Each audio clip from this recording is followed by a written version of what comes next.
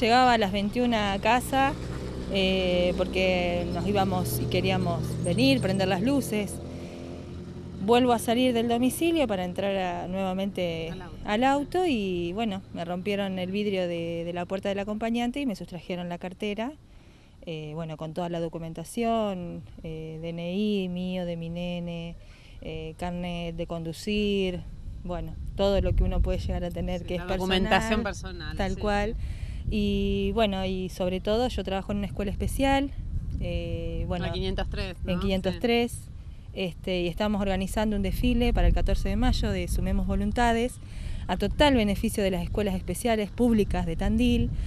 Y bueno, y en la cartera tenía las entradas, las rifas. Eh, entonces, más que nada, pedirle a la comunidad que nos ayude, que si alguien encuentra algo tirado, que por favor lo acerque a cualquier escuela especial o al negocio de, Celeste de Araujo que bueno, dicho sea de paso, quiero aprovechar también para agradecerle a ella la colaboración año tras año.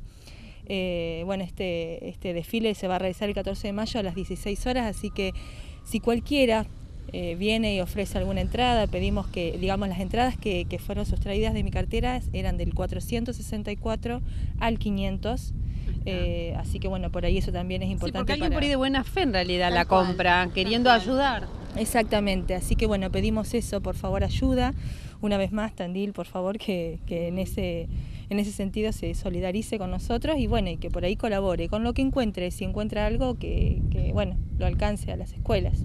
Vanessa la contracara, por un lado este desfile, bueno, este trabajo que haces en una escuela especial y por otro esto, que en segundos te robaron la cartera estando vos a, dos metros, ¿no? Exactamente, exactamente. fue un segundo, fue realmente así como vos decías, un segundo en, a dos metros de distancia. Bueno, bueno, lo, importante es que no, no, no, pasó, nada, digamos. Pero me que no sentiste ni el estallido del vidrio que se ve ahora, está en eh, todas las, eh, las astillas, lo que ha quedado en la calle. Nada, nada, no se sintió nada. Así que Simplemente, no siquiera quién fue, si fueron en una moto caminando. No sabemos nada, nada, nada, Simplemente cuando vuelvo otra vez a ingresar al vehículo, veo que voy a abrir la puerta del, digamos, del conductor y veo que están todos los vidrios saltados por los asientos y, bueno.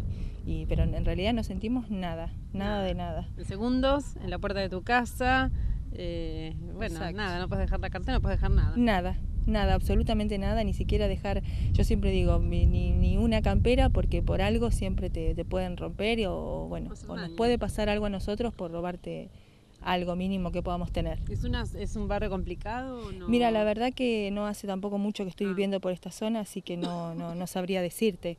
Pero bueno, yo siempre trato de, decir y aprovechar los medios de, de, que, bueno, si la gente sabe o encuentra algo, que por favor lo acerque donde pueda.